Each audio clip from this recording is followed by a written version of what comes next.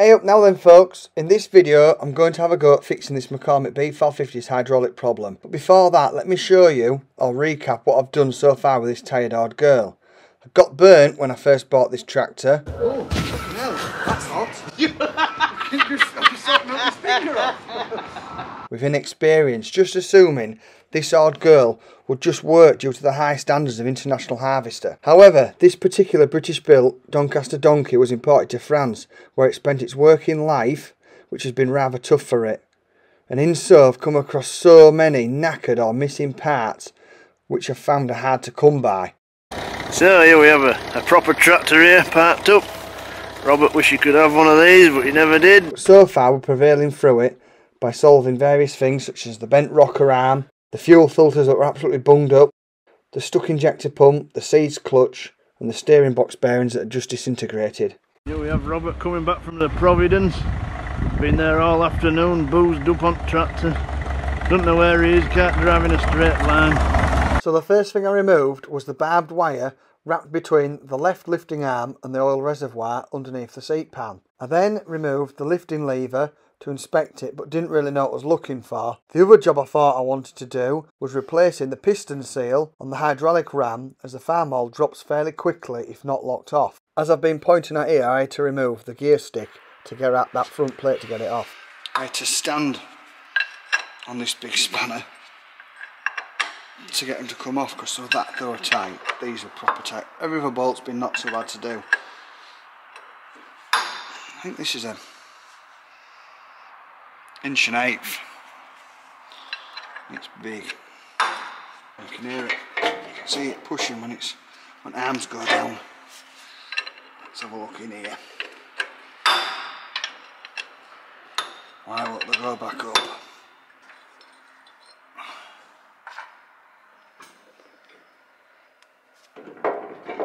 Oh.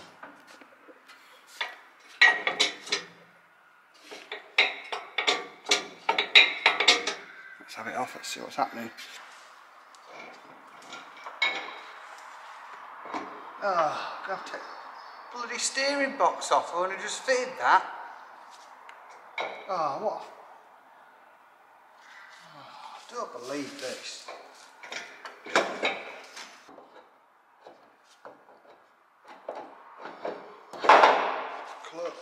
In this video you might just see a block of wood underneath the fuel tank.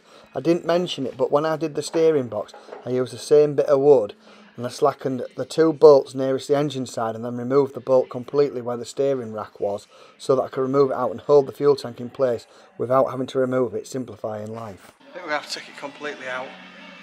Try cockling, steering. Got steering box out now.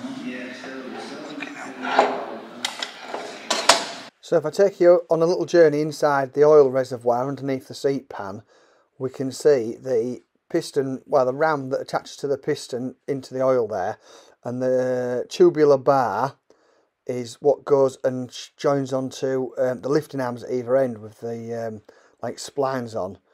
So all it does is just the piston pushes that bar uh, to the back of the tractor and as that does that it lifts the arm up. So that's the like receiving end.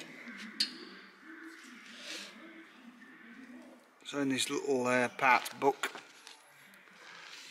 on this page, I was just looking at that thing separating from that thing. So after seeing that diagram in the book, I half thought that I didn't need to pull that long tube out. All I had to do was take the top cover off and uh, lift the hydraulic arms up and it would push that piston out, which I tried to do on the Farmall and there just wasn't enough travel on the arms to get that piston to pop out to even to even get a hold of it to try and pull it. So I think you have to do. I think you do have to remove this great big long tube out of the um, housing to get that out to do it. The other thing I might add is the piston pops out from the front where we're looking there, not from the back, as there's a ring on the back to stop it going into the oil, oil, oil reservoir. After finding me um, slingshot pliers, managed to get that off and change that washer. It is quite flat. But the new one's a lot more stuck out, less worn I suppose. I'm just going to change this O-ring that's on here next. Doesn't look like it's a big job to do. Could probably do it on other tractor, quite simple. How wrong I was. This is on the Farmall B450. As you can see, the steering column going up to a steering wheel. Um, I've put the bolt back in to hold that tube back in place so that I can hopefully push the piston out by lifting the hydraulic arms, but that didn't work. So the bolts are taken out of that steering column so that I can move it over to a side by slackening the fuel tank to get the piston holder out. So if we move back to the McCormick B450, as we can see, got the piston and the sleeve and all that plate put back on there, but not the lifting lever. I've decided to take the pipes off to get to the pump. The pump goes in that house in there. I think we might have found the problem. That's um, detached from the shaft or bust off. Not long after diagnosing the problem of the pump, Alistair Broadwith told me about a B450 for spares that John Crowder had for sale. And after looking at the pictures, I decided I wanted more than just a pump off of it and bought what was left. However, it took eight months to get the thing gathered up, but in return, they all received an Andy Fabs woolly hat. So, ladies and gentlemen, what have we bought? Bought a third B450. And as you can see, there's not a lot actually on it. Quite a few bits gone already.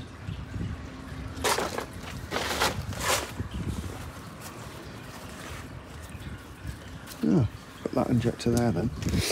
Um, yeah, not a lot on it. But I was really, the only reason I really first wanted it was for the hydraulic pump. That looks like oil dipstick's gone out. Um, and the other thing that I saw was on it was the back back top link that's disappeared that's back in shed now and then this arm this arm's a little bit different to what I've got. So I might see if I can pinch it or make it fit. I don't know. And the guide as well. Looks as though from what John said it's been um, a foreign one. That's why paintwork's so good. And it comes with a foot throttle. Whether we ought to fit that again or not I don't know. Probably doesn't need it. Maybe more effort than it's worth. Yeah. So we need any other bits for a B450 shame someone's cut the uh, back axle shafts off. Anyway I've just come to take that pump I'm going to take that pump off now and have a look at that because might even pinch the uh, gear inside of there if it's decent. Them teeth don't look so bad but I suppose it hasn't been rattling around it should be. Yeah I think these teeth are alright as well. It's fastened on. Now I've got my bracket to match that one after this one's been butchered. I think we'll have to cut it off there. And the bolt under there, so I'll take PTO guard I think to get that off.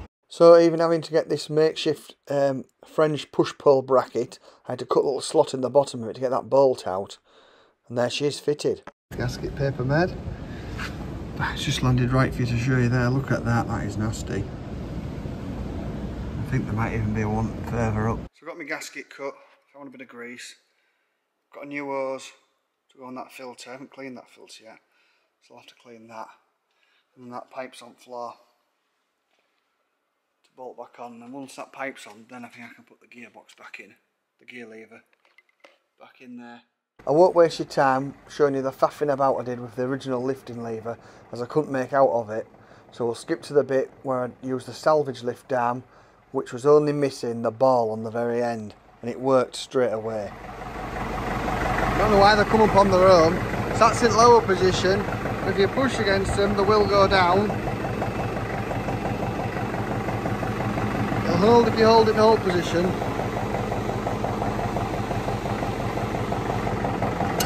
Not sure if I should have started with this, but the hydraulic arms were one of the first things I gathered up around about the same time I got that B142 plough. However, I'm still missing that top knuckle which I've just pointed out there. And I believe the arms were misrepresented as uh, B614 arms, not B450. However, they are much different. The hydraulic arms themselves are about two inches shorter. Um, and I'll find out something else later. But but the top knuckles are two and a half inches wide and they're three quarter pins that go inside. Um, so they're nothing like a B275 before anybody mentions that because the amount of folks that think they are, they're not. And that's it hitched up there, love.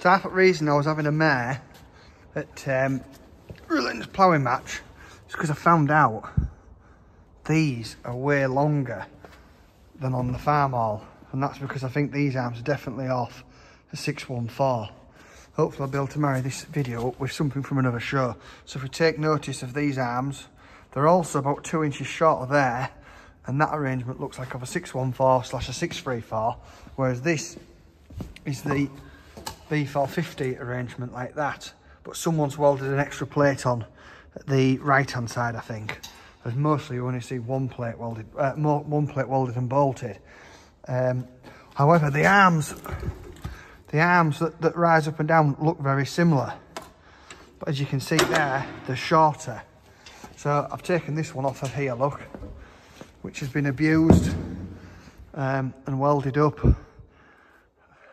so you can't wind that one out. I don't know why that's been welded in there.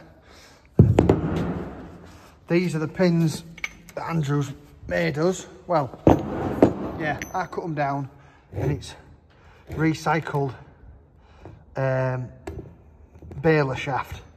So them shafts were off the baler on the the thumper, the thumping unit.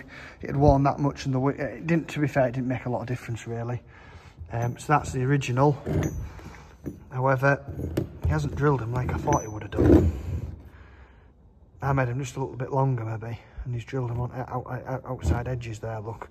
So they so they're maybe half an inch longer, but I think they're going to be better than they were because the uh, ones on them, if you look, there are four and a half inches difference between the, between this one and the other one.